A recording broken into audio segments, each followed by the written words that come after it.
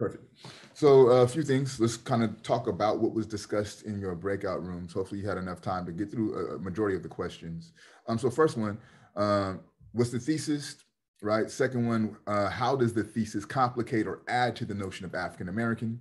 Um, and three, what information? What does this information say about the possibilities of African indigenous relations, or another way to put that, uh, black and brown relations? Right. Uh, who would like to share what was discussed in their breakout rooms?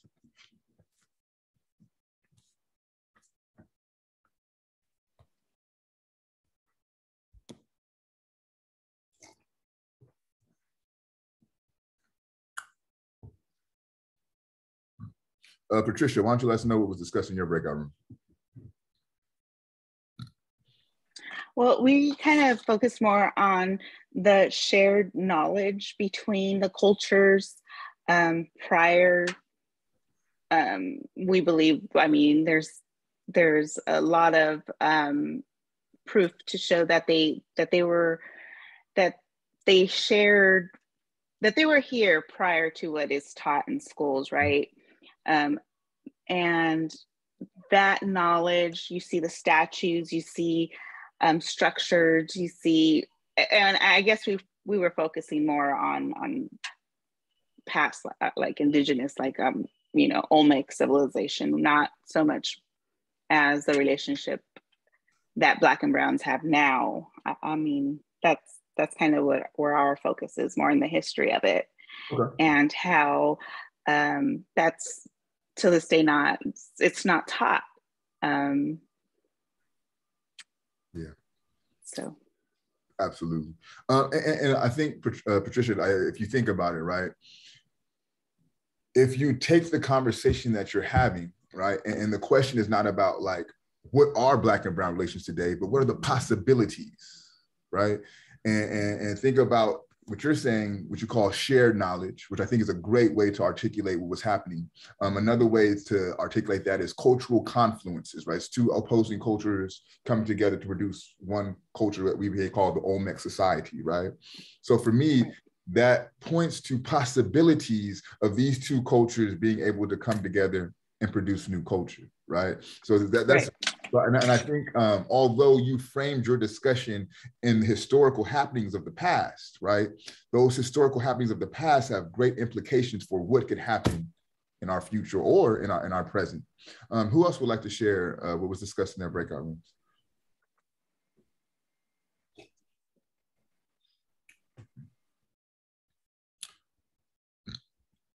Uh, is it Chi or it might be Hazel? I, I don't. I'm not sure, but why don't you share with us what was discussed in your breakout rooms?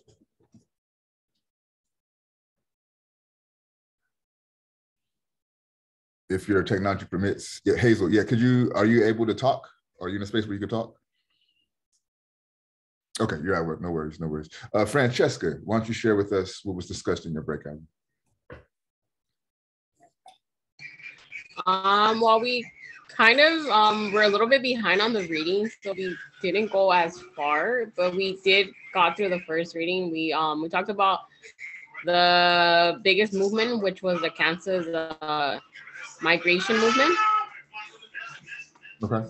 And pretty much we didn't get as more further than that Okay, no worries. So um, that's kind of situating like what they call the Great Migration, to where um, African peoples who were located in the South migrated north, um, migrated west and mid Midwest first, then to the west um, to escape, you know, racial persecutions and things of that nature. All right, bet. So let me um, jump into my notes, and we'll. I'm going to use, of course, the textbook as our primary source material, but I'm also going to use. Um, and I, and I, we talked about this book a little bit last week, um, but I'm going to pull some excerpts from Ivan Van Sertima's "They Came Before Columbus," um, which is the book that is referenced in this section of the readings. Right.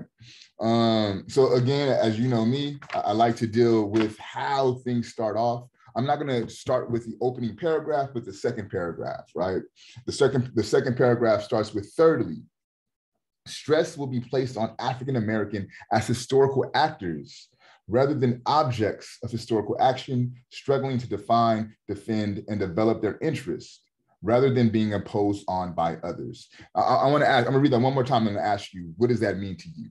Right. So, thirdly, stress will be placed on African Americans as historical actors rather than the objects of historical action, struggling to define, defend, and develop their interest rather than being imposed on by others. So he's he's giving you um, that's a sentence to speak to the methodology of the, of the section, right? But what is he saying is his methodology about how he will focus on the happenings of African folks. What is that methodology Is to what?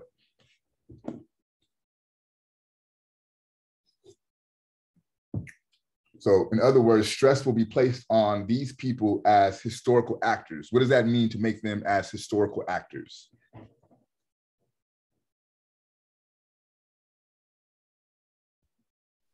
I'm sorry, can you repeat the question? I'm at work and I was interrupted. I'm so sorry. It's all good. Um, so the, the, the statement reads, right?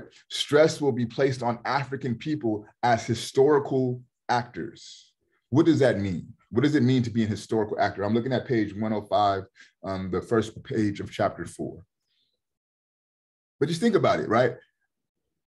Thank you, Hazel. So if you're looking at the chat, right, Hazel is saying is that they will be the ones that will shape history, right? So I'm going to tell this story of African people from the standpoint of them being the ones that are shaping history, not the ones that are subject to how history is being shaped, right? So this is, this is a vast difference in the way that history is being told. And this is a methodology, right? So typically when we hear about historical African phenomenon, they're subjected, right? You're gonna talk about how they were enslaved, you're going to talk about how they're colonized right so all of those type of phenomenon it places the african people as peripheral right or marginal right? It doesn't allow them to express or speak to their agency as a people, right? So what Karenga is saying is we're going to flip that paradigm. We're going to flip that idea on its head, and we're going to focus on African people as the ones who are producing the action, right? And again, if you think about this, um, is not too far off of a methodology if you think about African people being the first people on the planet, right? It would make sense that they would be historical actors because they were here first, right? So what Karenga is saying is I'm going to shift this paradigm. I'm going to focus on these people who we call African and how they impacted the world, not how the world impacted them, okay? Um, let me see here. He says, it thus will not be a litany of lost battles, a dirge of endless defeats, or a chronicle of simple survival. So this is not what I'm going to do, right? I'm not going to talk about the battles that they lost. I'm not going to talk about the endless defeats or chronicle simply how they survived. I'm not going to do that here, right? Um, rather, this section will seek to show Black people as they were and are, meeting major challenges with impressive adaptive vitality, durability, and achievement. It will show them then not simply surviving, but more importantly, self consciously developing a process which carries with it both the assumption and the insurance for survival. Right. So that last pair, that last sentence to me is profoundly important as it speaks to what he'll be doing throughout the rest of the chapter. Right. And this is why, like, those, those starting paragraphs are vitally important because they're going to tell you if it's written correctly, right, they're going to tell you what will be happening in the subsequent pages, right? So he's letting you know. Right? What we will do, we will show them then not as simply surviving, right, but more importantly, self consciously developing a process which carries with it both the assumption and the insurance for survival, right? So it's not that these happenings are, are, are happenstance, right? So this happened to me, so now I got to come up with something to survive. No, he's talking about we are self-consciously creating these mechanisms that not only allow us to survive, right, but it ensures our survival, right? So again, how things start become very, very important. So going to the next page, and, and he classifies this page as Egypt, Mali, and the Olmecs. Right. And, and, if you think about this from a spatial, remember I, I talked about last week, we have temporal, which is time, we have spatial, which is space, right? So if you think about this from a spatial context, we have Egypt or Kemet, right, on the eastern part of Africa. We have Mali on the western part of Africa. And then we have the Olmecs on the western hemisphere, right, in the United States, southern Mexico, right? So what's happening here is there's a um, there is a migration that's taking place, kind of to what Francesca was talking about in the sense of African people moving from the South to, to Kansas, right, to, to look for better opportunities. Um, because of European and Arabic invasion, African people are forced to move out of Egypt or Kemet and start to migrate west and start to migrate south, right? It's the, the central part of Africa. With that migration, they took their knowledge with them right? So a lot of the way that they worshiped and viewed God came along with them on the travel. The importance that they placed on education came along with them on the travel, right?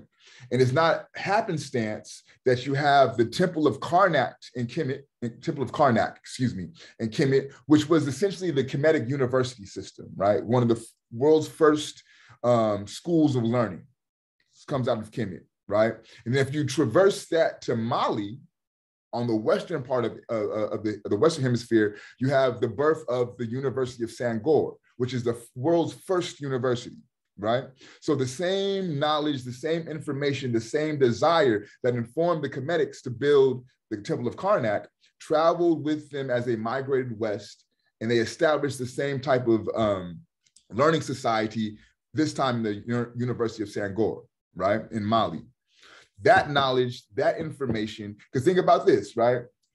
I said that um, the brother of Mansa Musa, who's out of Mali, right, is Abu Bakr II, who traveled to the Americas 200 years before Columbus, right?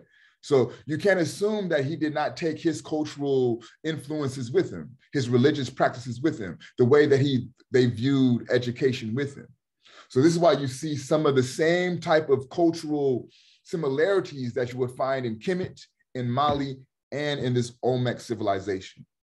Because when you travel, you take you with you, right? You take your culture, you take your swag, you take all of that with you. You don't leave that behind. And, and one thing about African people, historically, when they travel, they take themselves with them and they set up shop to mimic their cultural understandings, right? And their cultural specificities, right? So looking at um, page 106, the opening paragraph for this section, Egypt, Mali, and the Olmecs, it says there is significant evidence that Africans did not come to the Americas first on enslavement ships or as crew members and pilots on European ships, but on their own ships, perhaps as early as 1200 BCE, followed by voyages between 800 and 700 BCE, and again in 1311 and 1312 CE. This is obviously a contested contention, but there is sufficient body of evidence which invites serious consideration. However, if Europeans could reach Americans by, um, sorry, if Europeans could reach America by ancient, why couldn't Africans reach it by design and skill? Excuse me, by accident, excuse me. So if Europeans could reach America by accident, why couldn't Africans reach it by skill, right? Um, easily the seminal and most um, definitive work on the present uh, African presence in America is Ivan Van Sertima's They Came Before Columbus. In this major and controversial work, Van Sertima argues not only that Africans were here before Columbus, but they helped build the Olmec civilization, the parent civilization for all subsequent ones in Mesopotamia, right? So again, Africans did not come here solely through the experience of enslavement, right? And he's even saying, um, because in Columbus's own journals that he writes, he talks about that there were African um, crewmen on his ship that were helping him navigate to the West, right? But Van Sertima is saying like that's not even how African folks got to the Western Hemisphere. We had our own ships, right? In fact, Africa is a nautical culture. Um, talking about um, Kemet, right? What is the main river or body of water that runs through Kemet? Does anyone know?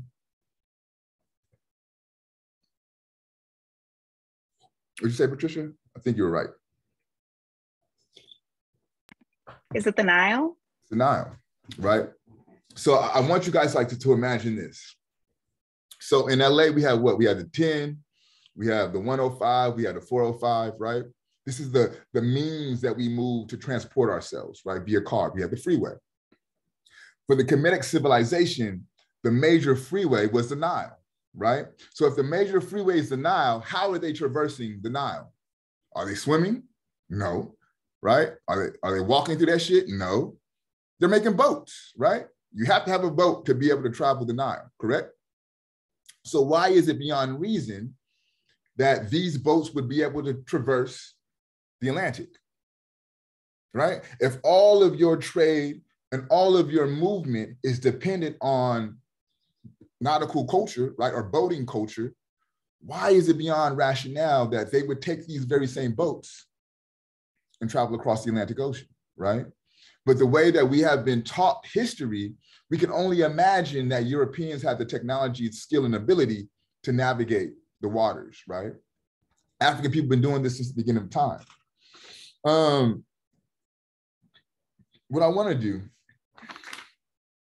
I'm gonna kind of transition to Van Sertima's work because what Karenga does is he kind of he kind of covers this in a really broad glance, right? But I want to kind of get to some of the um, cultural confluences that take place that uh, Van Sertima highlights within the text.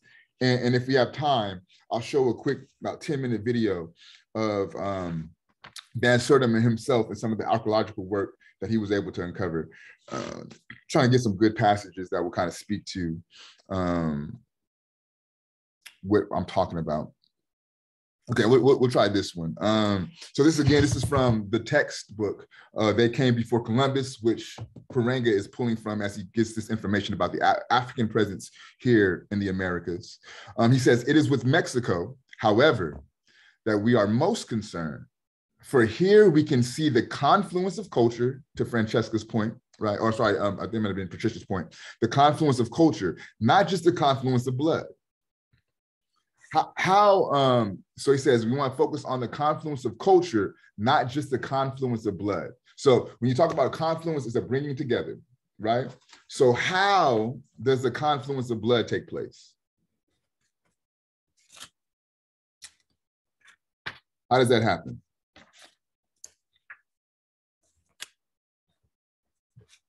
how would two cultures begin to mix their blood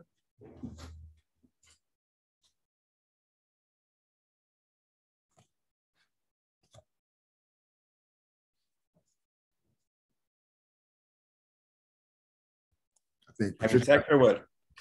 Say it again, Marcel. Go ahead. Having sex? Yeah, fucking. Yes, that's how that's how that happens, right? I was gonna say that, but I'm having technical difficulties. Yeah, I seen you, Patricia. You went on black. I was like, she got the answer, but she hit the wrong button. But yeah, sex, right? So he's saying, I'm not gonna solely focus on them coming together to make babies, right? Like, yeah, that happens, but to me, that's not as important as how they come together to produce culture, right?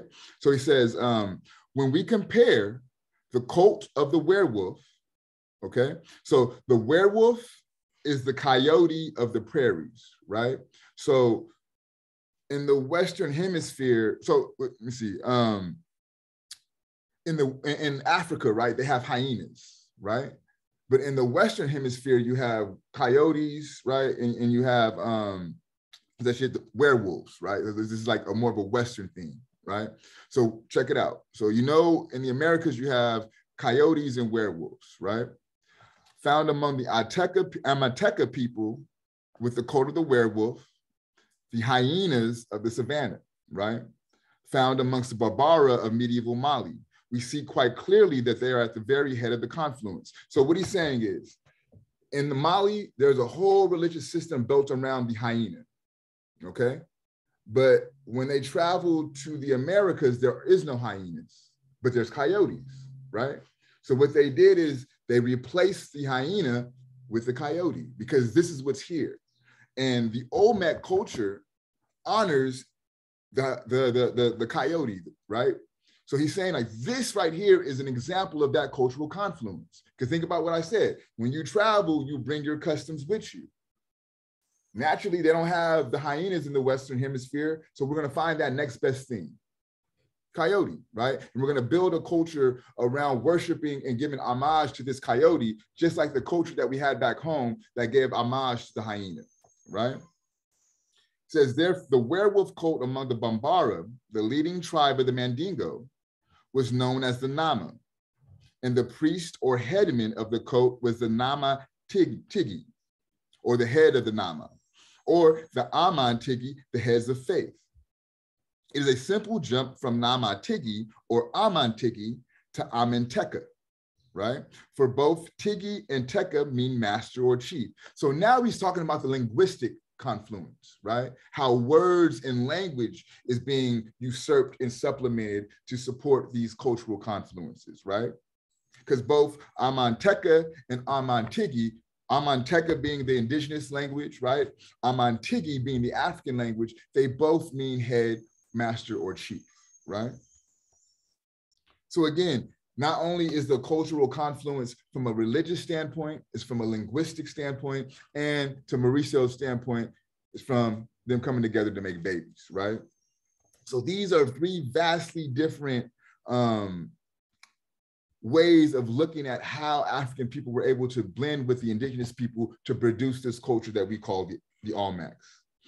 Um, I'm going to move to a little bit further down on the next page, and we're talking about this werewolf god, right? Again, the festival of the werewolf god was celebrated in both cultures, the Mali culture and the Olmec culture, twice a year. In Mali, the god is smeared in blood, usually chicken blood. In Mexico, where human sacrifice was habitual and only slightly mediated by the humanity of the Quetzalcoatl, blood is provided in the first of the two festivals by humans, right? So again, even in their rituals, there's a similarity, right? In Mali, they use chicken blood. In Mexico, where human sacrifice was a little bit more common, they would use human blood, but the principle and the practice was the same, right? The spiritual worship was the same. Um, I'm not gonna go into another example of the language, but let me see. Yeah, about yeah, we have enough time. I'm gonna play a quick little video that details some of the other ways that Ivan Van Sertima was able to prove and authenticate the African presence um, in, in, Central America. Give me one second. Let me get that pulled up, and we'll share. My, I'll share my screen. And, and if you have questions, comments, or concerns, feel free to shoot those out.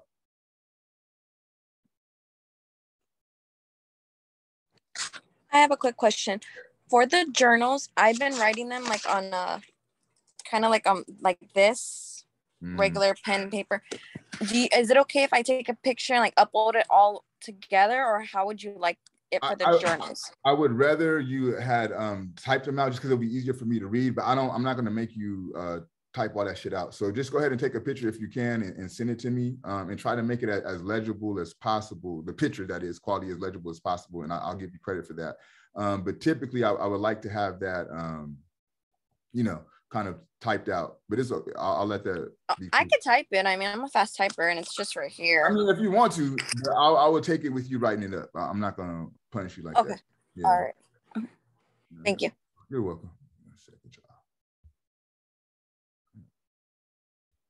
So many lectures. Bear with me.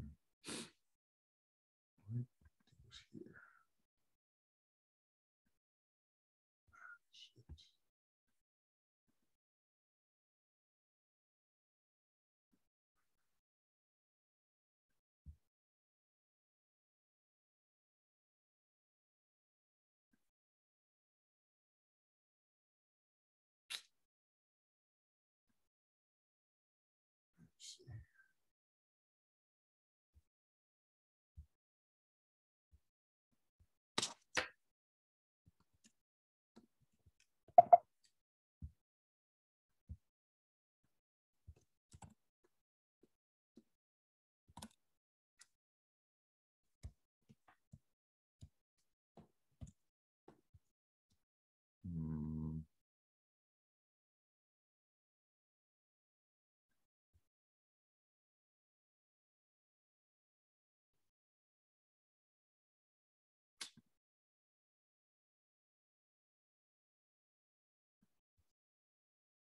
All right, here we go. All right, here we go.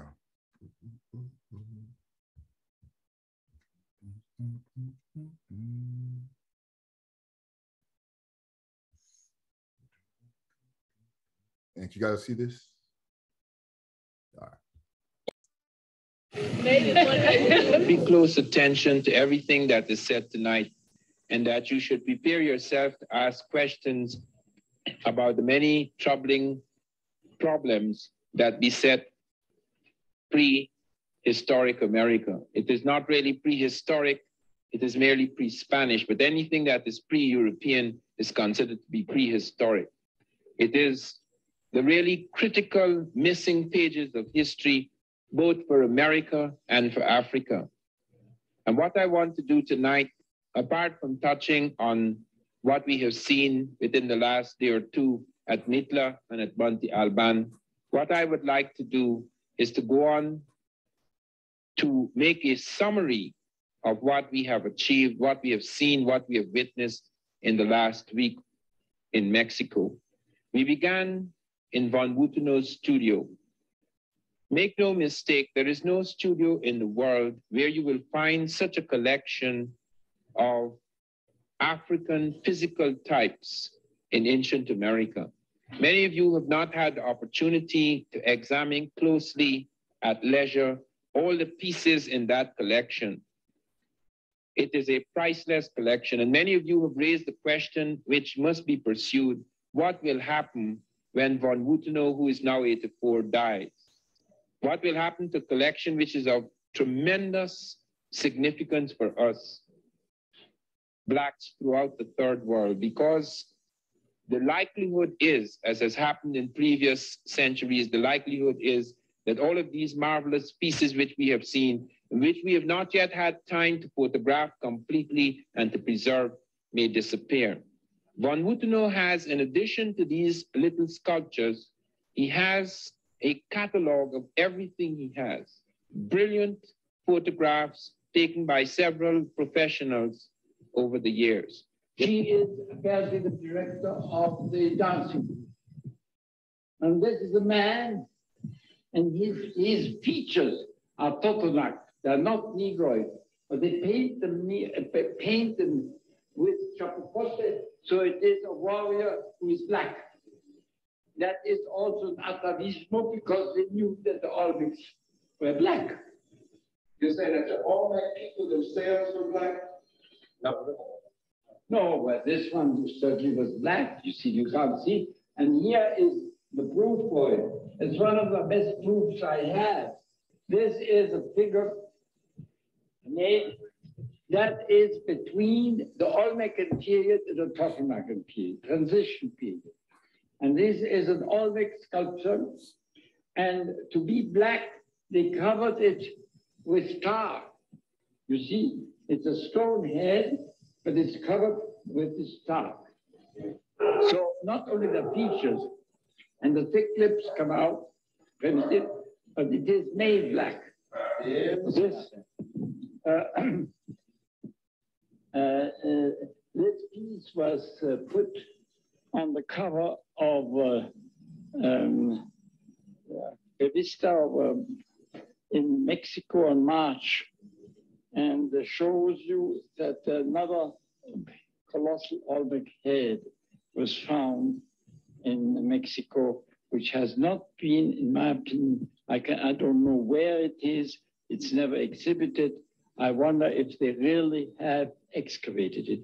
Of course, you see these, there is an item that uh, the people in Tabasco, that Tabasco is, a, is one of the provinces here. I mean, one of the states, the state, just as Louisiana is a state. And the people in Tabasco don't want it to disappear from their place to uh, Mexico City. And there are frictions between the Instituto de Antropología and the state, see. And that's why I don't know if they've done in the state something about it. In any case, it has not been shown up here in Mexico City. But it is 100% Negroid features. And um, I wish we could get it out and get some you know, the choice of archaeological sites to link all that we have seen together as a single piece. This is one of the most difficult things to do in Mexico. There's a vast amount of confusion, even among the guides who's supposed to have mastered the material in their own area. There's a vast amount of confusion about dates, about the occupation of sites, about the nature of influences, about what the various things we have seen mean. Some of these things cannot yet be explained. Some of these things people can only guess at. But what we are certain of, what we are absolutely certain of, is that the Olmec civilization, which is the mother of all American civilizations, is not a single stranded civilization. It does not belong to one race. It does not belong to what we conceive of as the Native American who came across the Bering Straits. There obviously were other influences, and among those influences was the African, specifically the Egypto-Nubian of the Mediterranean. When we look in Von studio, we see quite a number of heads, most of them pre-classic. By pre-classic is meant periods between, say, about 1000 BC, going right down to about 600 BC. This is a significant phase in Olmec civilization. There are several phases of the Olmec.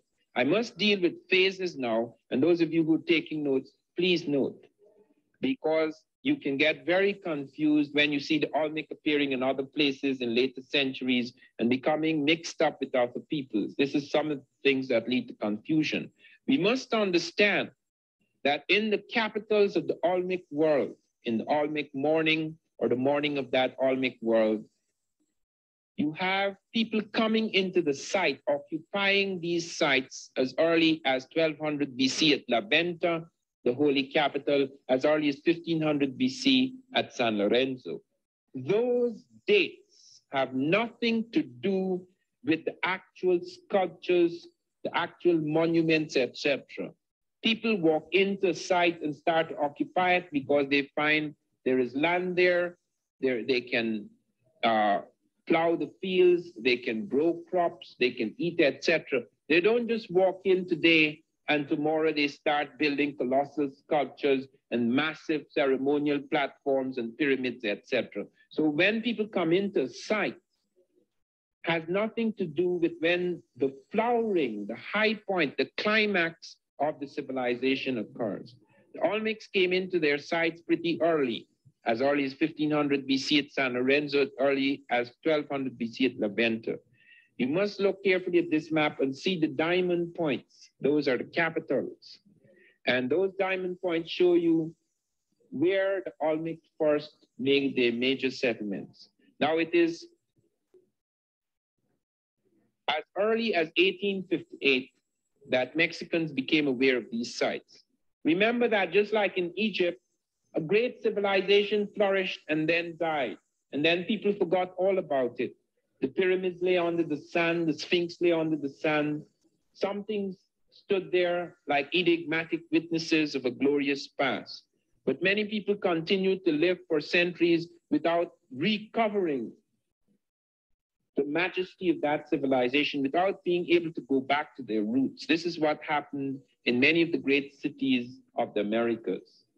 That for a long time, for centuries, a shadow fell upon this world.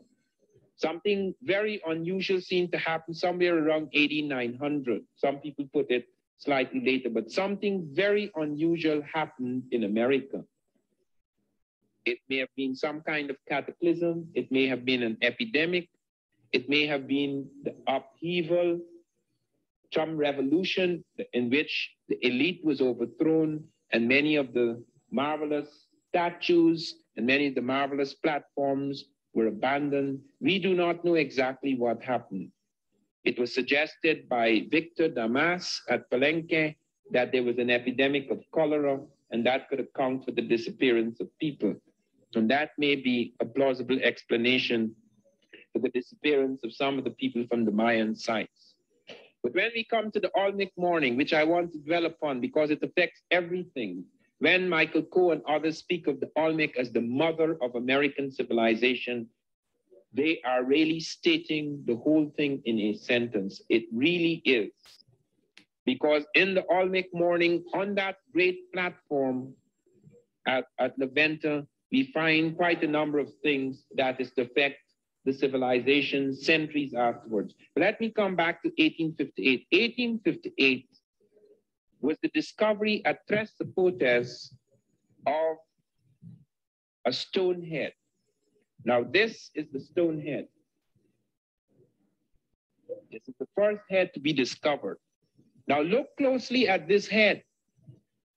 When the Mexicans saw this head, when their scholars saw this head, scholars like Orozco y Berra Jose Melgar, etc., they were absolutely convinced that there were Africans in America at some ancient time. Why were they convinced? They were convinced by two things by the African physiognomy, the native. Okay, so that kind of gives you um, some supported source material to what I was arguing. Um, also, you know, you kind of got to see Van Sertima himself and some of the artifacts that help support his work. Um, so I want to hear a little bit your, about your thoughts about what was talked about today, and then also want to address any questions you all may have about the essays, the prompts, or, or anything of the semester. Um, so what are your thoughts about the African presence prior to uh, Columbus? Um, what are your thoughts about the cultural influence, confluence of African culture and indigenous culture? Any of this? Curious to hear your thoughts. Well, if you if you go down to southern Mexico, you you still see a lot of the influence, like in Veracruz, um, and I, I tend to kind of dwell more on history because, like you said, it kind of um, impacted the relationship there is today. Um, I find it interesting myself because you know my family is is from Mexico. I'm first generation here, but if you look at me, I'm totally white with red hair. Like this is not dyed hair. My hair is red. But if you look at my grandmother, she's very in, like an an Indian. Yeah. And I have a great grandfather who looks black. Mm-hmm. So it, it to me just um and all this it, it, the more you you you you see the history of it how it was here i've asked my my kid and I've asked nieces and nephews when when I say, can you tell me something about Black history? First thing they say is slaves. Mm-hmm. That's all they know, and it's all it's taught. And for me, it's just a lot to process, and there's just so many aspects of it.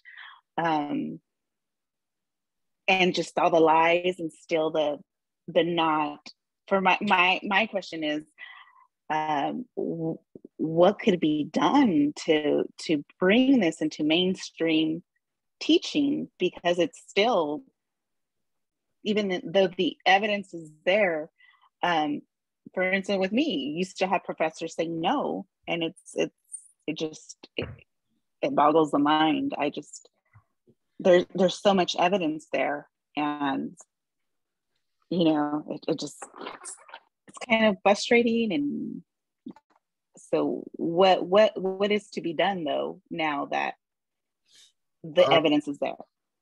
I, think that's a um, to some regard to some regards patricia that's a personal question because like for me because of my occupation right like it's easy for me to disrupt these notions of making this information available right like that's why i put this in the course when i cover even when i teach at cal state la i make sure we cover this topic because although it's a Black Studies department, not only here in Cerritos, but also at Cal State LA, right?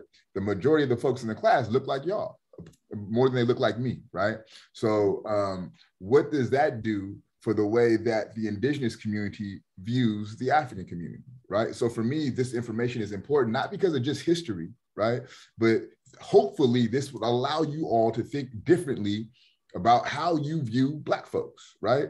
And, and, and not as a, um, a competitor because because we're in a capitalist system right a lot of the rift between these communities stems from this notion of competition right and the black community will say well the indigenous folks are coming in here and taking up our jobs not really right but this is the message they will tell us to keep us divided right um, you'll get the message about black folks that we're a criminal element that we're lazy right not really but this is what's being told to keep us divided right so what happens when this message starts to become the normative stereotype?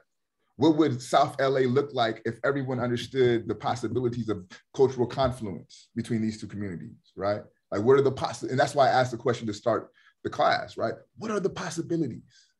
Because this is this is a way for you to process your question about thinking about those possibilities. And, and, and for me, again, that's why I asked that. So I have my way of going about making sure that this information is available, right?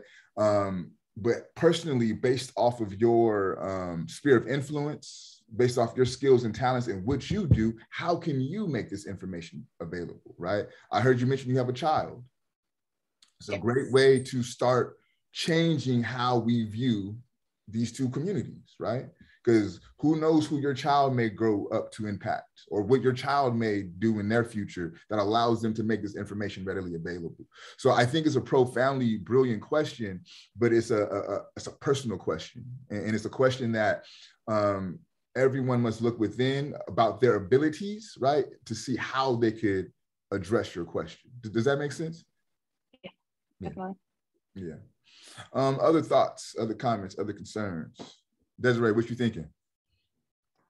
Um, for me, uh, it's just it goes back to I did this reading because my dad's like really good in history and stuff, and my grandparents, my great great grandparents are Native Americans, so they tell me all this stuff, and they say like it goes back to like cave um times when like they cave right he goes my grandpa told me like if you go to the caves you'll see not one white person you just see colored people he goes but you know these white people just still to their mind till this day go off and they think that they were born here first. He goes which you know i'm also latina as well so they call us wetbacks. And he goes my grandpa goes like they're the ones that came from ships. They're they're the ones that have the wetbacks. We were here. And i'm like grandpa like he goes no mija he's like i'm glad you're taking this class. I'm glad everyone are doing it. He's like but even if you show proof like that video it shows the faces of African Americans, they will still in their mind think it's a white person or they just made it, you know, with bigger lips or something. So it just it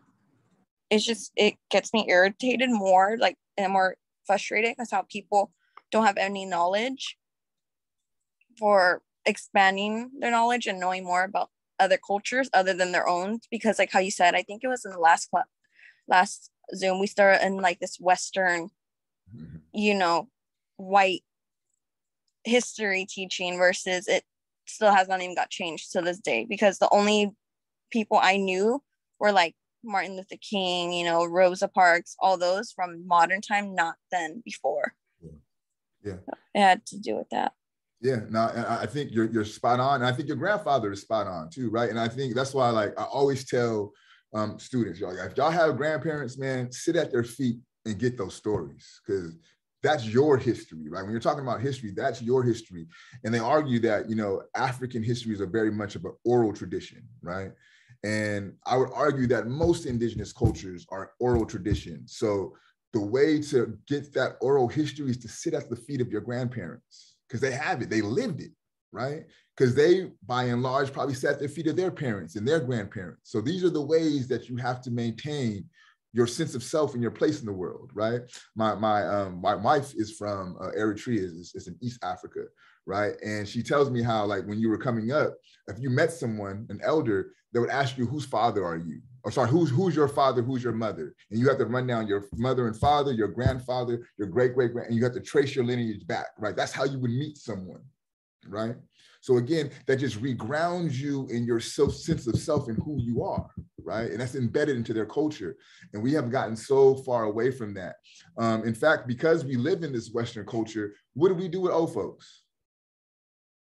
What do we do with them? Put them in homes. Put them in homes. I see that a lot in the hospital. They don't care for them. How fucking crazy is that? They should be honored, right? They should be put in a place in your home, right? But by putting them up on a shelf in these old folks' homes, we're missing out on that knowledge. We're missing out on our legacy, right? Is to me, it's intentional.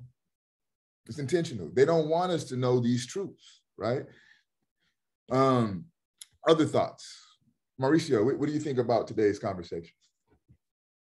You know, it's just like she was saying, mind-boggling that with some evidence and stuff like that because I think I took that class maybe like 20 years ago about the my um the Olmec and all that stuff and I do remember some of those pictures. So that has been out there for like 20 years since I took that class. And just thinking about like okay 20 years later and they're still kind of like okay with that same notion that Columbus still came here first right. you know? Um of course it's becoming more like Columbus wasn't here first and he genocide and all this stuff you know but it still hasn't changed the fact that or gotten back to that blacks work here before. Yeah. You know, so it's just kind of like crazy that I, I remember taking that class like 20 years ago, you know, and I remember those images. Yeah. And, and just to fuck you up a little bit more, like that book was published in 1976. Okay, that's the year I was born. so like, like, like, think about that, yo. So it's not even the 20 years that you took the class, right? This book's been out since the 70s. Yeah, so it's 45 They don't want to give it space, you know? Yeah.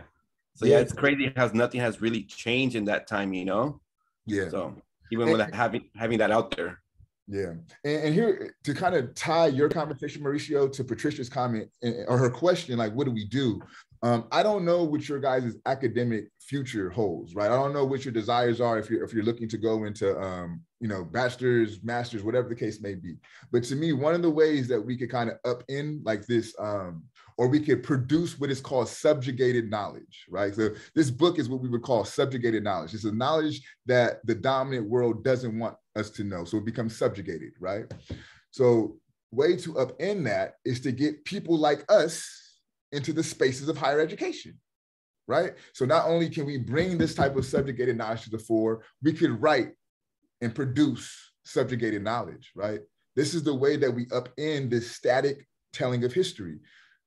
And, and being in PhD programs and being in these spaces, by and large, folks are sick of the old dead white men, right? So we have to bring new thoughts and new people into these spaces to kind of replace those voices right?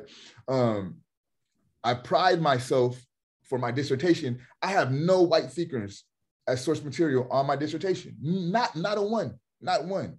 And that's intentional, right? I seek to disrupt this static telling of history, this static telling of how, who can possess knowledge, right? or whose knowledge is validated, right? There's a whole world of information that indigenous and African people possess that just because their skin isn't white, we don't, you don't want to hear it right? So I think as scholars, as intellectual, and as critical beings, right, as spiritual beings, right, it becomes our job to bring us into these spaces, right?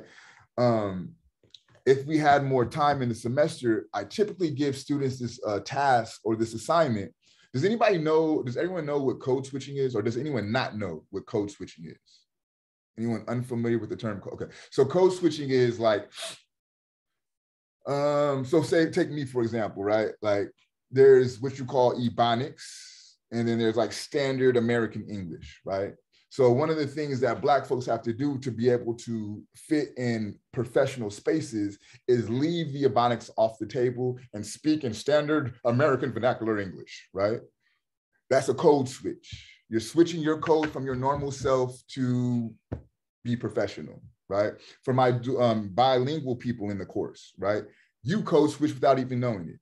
So maybe at home, you'll speak Spanish, but when you go to work or out in public, you leave that Spanish at home and you'll speak English. So you're code switching to fit the environment around you, right? Oftentimes, you code switch to fit the environment is another way of just saying you're performing whiteness, right? And correct me if I'm wrong, how many teachers have y'all had that talk like me? Not many, right? And for me, this is a, a purposeful pedagogical practice, right? To show you anyone can occupy this space. There's not a specific mold that you have to fit. There's not a certain way that you have to talk to sound educated. Be yourself. My information and my knowledge speaks for itself. Can you tell me that I'm not able to properly educate you on this subject matter? Nah, I'm doing it in a term, in a language that I'm comfortable with, and you're able to understand. So I'm refusing to code switch, right? So typically what I'll have you all do is in a space where you normally code switch to perform whiteness, don't do it. But I'll tell you, don't get fired or don't get your ass whooped, right? But do it in a way that you can experiment with being yourself in spaces where you don't always feel comfortable in being yourself, right? And that's important because what does that say about how you value yourself if you feel you need to be someone else to occupy a space? That's implicit self devaluation. And it's all cultural because what is professional is whiteness. What is unprofessional? Anything but whiteness, right? There's a, I don't know if you ever heard of, it started off in New York and it became a federal law. It's called the Crown Act. Does that sound familiar to anyone? So the Crown Act says that African people are allowed to wear their hair in its natural state in workspaces. because people would get kicked out of work, get kicked out of school for wearing braids, uh, wearing dreadlocks, right? Um, ethnic hair would be deemed inappropriate, right? So they had to pass a whole law to say that you could be your authentic self as it pertains to your hair in your workspace, right? So again, to me, at a deeper level, it's really about valuing who you are and being at peace and understanding the divinity in your true authentic self and being uncomfortable enough in your divinity to take that everywhere you go right um you don't have to dim your light for nobody in other words right whether that be cultural whether that be spiritual whether that be intellectual right you don't have to dim your light to make someone else feel com- comfortable in the way that whiteness orients itself it makes others feel smaller so it could feel good i say fuck that you're gonna have to adjust to me in my space, right? If you're uncomfortable with the way that I get down, that's on you. You need to fix that, not me, right? Because I'm just being my authentic self. And this is something that I try to instill in everyone that I come into contact with. Because your authentic, pure, divine self is perfect, just as it is. And that's what the world needs to see, right? Um, for sake of time, anyone have questions about their their essays or their prompts or anything of that nature the journals anything okay go ahead desiree um my question was for about like my essay i was talking i wanted to talk about the medical field but there wasn't so many yeah. um like you know examples so i switched it to like how our learning is and how it was in the 60s and because we had more examples is that fine? But I was gonna ask also too if I could add another thing as well or no. Yeah, I, am fine with that. I just don't want you to get overwhelmed, right? Like, it's only, and, and keep in mind, you only have four to five pages. Um, you might run through those pages really quick. You know what I mean? So that, that would be my only uh, caution I would offer to you is just like don't take on something that's so overwhelming that you don't have enough space to write it. You know what I mean? And then um, for your own personal research, because I know you're into like uh, medical um, equal equity and things of that nature. There's a book by Henrietta Henrietta Washington. It's called Medical Apartheid, and it talks about how the segregation, if you will, or the bifurcation or the inequity in the medical field. And it's a it's a really good text, Medical Apartheid. Yeah. Okay. Thank mm-hmm. you. I have one question. Go ahead, I, I also saw that um there's a when's the last due date? I think I saw the 24th for the essay, but there's also something due on the 30th. I'm gonna um I, I the essay for the 24th, I'm gonna push that back because we actually have one more week of the of the semester. So you'll have more time to work on your essay. Then I was actually when I get done here, I'm gonna adjust that due date. Um, for the 30th, I'll look um, because the only thing else that would be due outside the essay would be your journals, and those would be due on the same time. So when you submit your essay, just turn in your journal also. So that should be done at the same date. So to be more accurate for you all, uh, and, and I'm going to put this on Canvas, but I believe we have until the second. Oh, sorry, the uh, the first of July would be Friday. So I'm going to ask for like the um, essay by the 30th. So that that will be the due date for your essay and for your journal will be June 30th. And I'll go and make an announcement as soon as we get off the line today. Thank you. Mm-hmm. And- I have a question. Um, for the sources, do we have to use the textbook or can we use outside sources? You could absolutely use outside sources. Um, I just say the textbook because it's, it's easier, right? Like you, you have already covered material from the textbook. So I just thought that would be easier, but you could definitely use outside sources. Just make sure that they're academic, right? Yeah, like my mine's I was going to talk about police brutality. Mm-hmm. So I, I, I mean I have like I have gathered outside information already, so I just wanted to make sure that. Yeah, absolutely. Absolutely. Okay. Mm-hmm. Anyone else? Go ahead, Desiree. Um, it wasn't a question, but just I do know how you were talking about like ethnic self and stuff. In the medical field now, we're um we're not allowed to like hide our tattoos anymore. Hmm. So I know a lot of because how you were saying like white stuff, we, anyone who had tattoos, they had to get, have it covered up, yeah. regardless of where it was. So now that we're allowed to have tattoos being shown, people a lot of i'm gonna just say whites don't like it and they would refuse for us to mm. take care of them and i'm like okay at this point like i can save your life but if you don't want my help it's fine because i have tattoos on my wrist right yeah and um there is a doctor we do have and full sleeves, like full everything. And when they say they don't take them, you know, like professional. But yeah, now we're allowed to not show our tattoos. Yeah. Like And we could show them. That that is interesting because for me, like if I'm sick, whoever can help me, help me. I don't care what you look like. You know, shit, you could be green. If you could get me better, get get me better. Like that's foolish to say, oh, I'm not gonna take your help because you like what? Especially like tattoos are so proliferated now, like it's not even a big deal. You know what I mean? So, and I think too, that's also a kind of a generational barrier. You know what I mean? Like older people just not comfortable with those things. Yeah. Um, anyone else? Okay. So um, next week will be our last Zoom. Um, like I said, as soon as we hit the end button, I'm going to go and adjust the due date for the final essay. Um, if you have any questions, comments, or concerns, shoot me an email or a message. I'll be happy to um, correspond to you. And if need be, we'll set up a Zoom um, to get those details ironed out.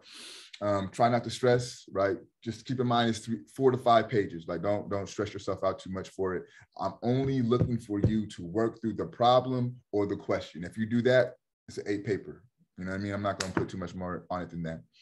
Um, all right, y'all. Be healthy, be wealthy, be wise. Get your exercise, vitamin D, and water. And I will see you next week. Peace. Bye, Professor. Thank you. Have a good one, Desiree. Marisa, you got a question? No, I was just like, see you, Professor. Have a good one, Yeah, man. take care, man. All right, Hazel, have a good one. All right, Patricia.